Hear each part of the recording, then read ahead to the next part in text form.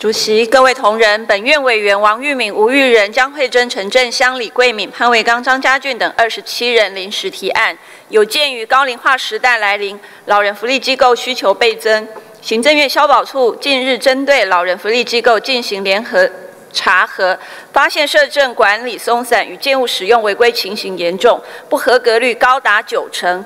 原建请卫生福利部社会及家庭署强化老人福利机构管理，督促各县市相关主管机关进行复查，要求业者尽速改善，确保机构服务品质。内政部消防署、营建署应每年不定期实施公共安全联合督导，促请地方政府查核老人福利机构的环境设施，落实机构场所公共安全，以维护老人消费者权益，是否有当？敬请公决。本院委员王玉敏、吴玉仁、江慧珍、陈静香、李桂敏、潘维刚、张家俊等二十七人提案，做如下决议：函请行政院严处。请问会有无异议？无异议，通过。请赖世宝委员发言。